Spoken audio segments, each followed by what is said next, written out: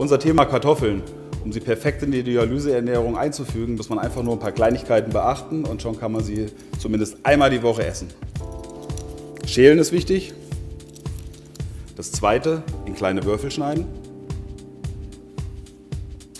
Und das dritte, in viel Wasser kochen. Und zuletzt ist immer das Gewicht zu beachten. So, die Kartoffeln sind gekocht. Jetzt geht es darum, dass wir Geschmack reinkriegen müssen. Salz ist ja immer die falsche Entscheidung in dem Fall.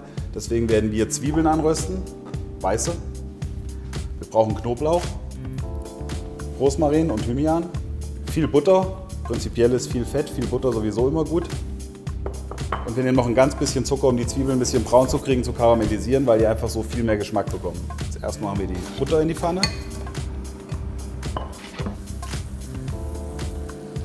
Dann geben wir schon die Zwiebeln dazu.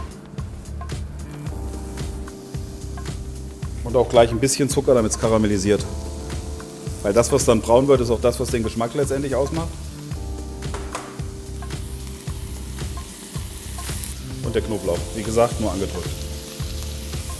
Und die Kartoffeln. Jetzt muss das Ganze schön Farbe nehmen und dann sind sie im Prinzip schon essbereit. Jetzt sieht man schon, dass sie schön goldbraun geworden sind. Jetzt müssen wir die Aromaten, sprich den Rosmarin, Thymian und Knoblauch rausnehmen.